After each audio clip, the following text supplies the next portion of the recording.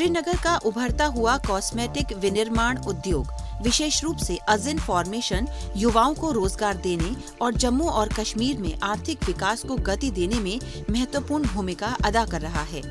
यह क्षेत्र, जो अपने सौंदर्य और त्वचा देखभाल उत्पादों के लिए जाना जाता है, विविध करियर पथ प्रदान कर रहा है और उद्यमिता और नवाचार की संस्कृति का पोषण कर रहा है।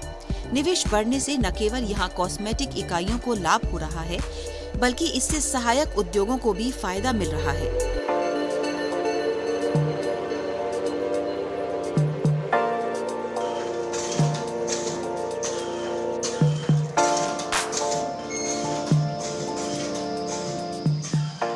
हमारी कश्मीर का पहला GMP certified personal care and cosmetic manufacturing unit है।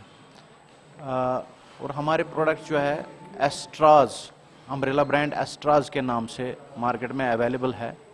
तो एस्ट्राज की जो हमारी कोर फिलॉसफी है और एस्ट्राज ब्रांड जो है, वो रिप्रेजेंट करता है ट्रेडिशन प्लस मॉडर्निटी तो इसमें हमारे काफ़ी सारे रेंज आते हैं कॉस्मेटिक में भी और पर्सनल केयर में भी। जैसे फेस वॉशेस आते हैं सीरम्स आते हैं शैम्पूज आते हैं और हमारे कुछ और भी प्रोडक्ट्स हैं, जैसे ग्लिसरीन है एलोवेरा बेस्ड जेल्स है हमारे पास और फेस क्रीम्स है।